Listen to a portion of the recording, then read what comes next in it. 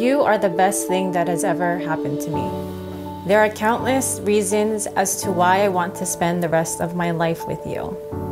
The biggest reason is because you never fail to pour your heart and soul into our relationship.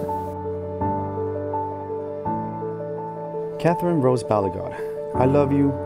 You have brought such joy to my life. Thank you for loving and believing me as I am and taking me into your heart. You are the biggest blessing in my life.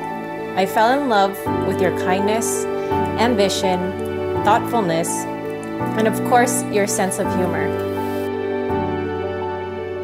I promise to walk by your side forever, to love, to help, and to encourage you in all that you do. I will take the time to talk to you, to listen to you, to take care of you through all the changes in our lives. I will be there for you always, as strength in need, comfort in sorrow, counselor in difficulty, and a companion in joy. You know how much my family means to me, and I adore the fact that they love you so much. Honey, I'm so proud of the man you've become. You've really put in time and effort into building our future together, and I can't ask for a better partner to spend the rest of my life with.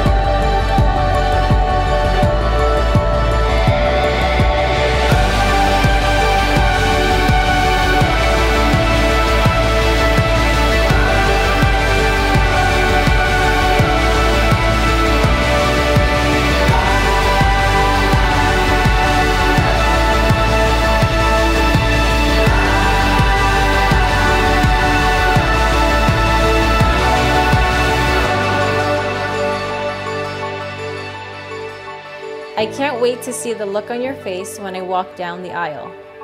We'll see who will cry first. I promise to work on our, love and always will have you as my priority in my life. Everything I am, everything I have is yours, now and forever. This is my promise to you.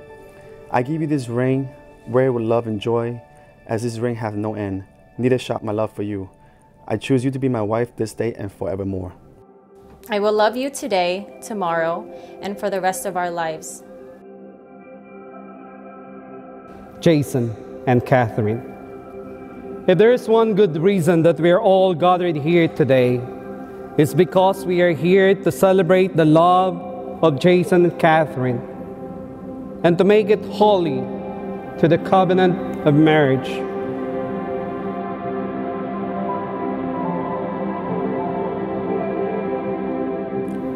They met when they were in college.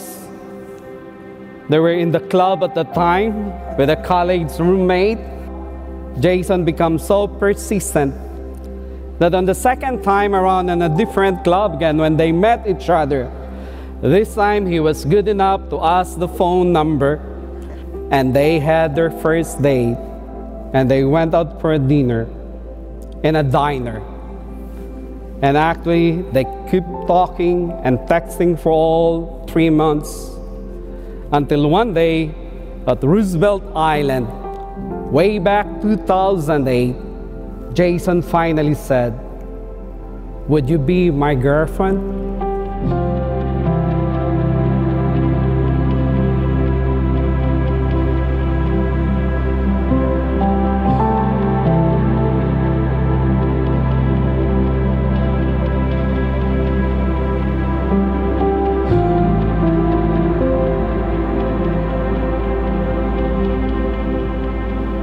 And they build up that relationship for 10 years prior for them being here.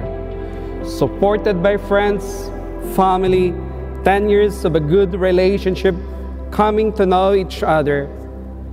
And after 10 years and 2018 in the same place at Roosevelt Island, Jason made the proposal. And today they're here to seal that love and the presence of all of you, and to make it the real reality that they are very, very serious enough to make this a sacrament of marriage.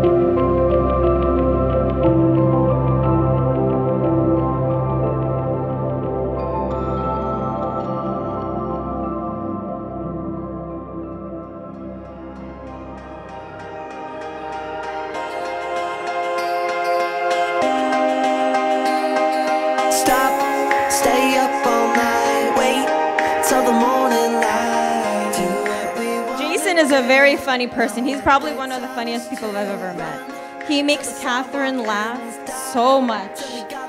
Not only does he make Catherine laugh, he also makes both my parents laugh too. he has, you know, a lot of jokes, a lot of sayings, a lot of these like things that, you know, my sister starts picking up, my parents start saying, I even start saying it too. It's very funny. and, you know, Jason, we're very glad to have you in our family.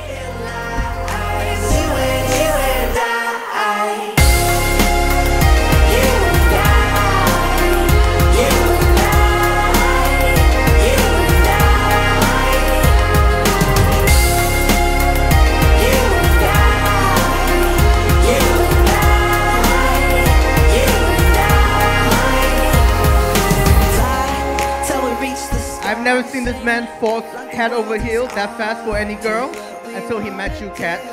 You were everything he was missing and needed in his life. Jason told me if it weren't for you, he probably wouldn't be where he is at now. You've motivated him to do better in life. You've made him a better him. And his success in life is thanks to you.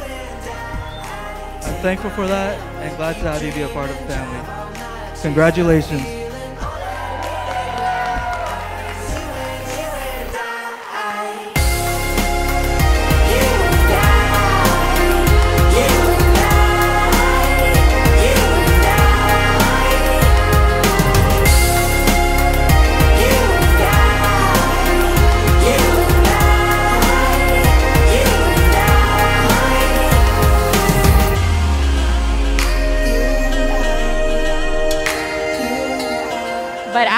Meeting Jason, honestly, at the cat, you grew to be confident about yourself and shine just how Jason is very confident about himself too.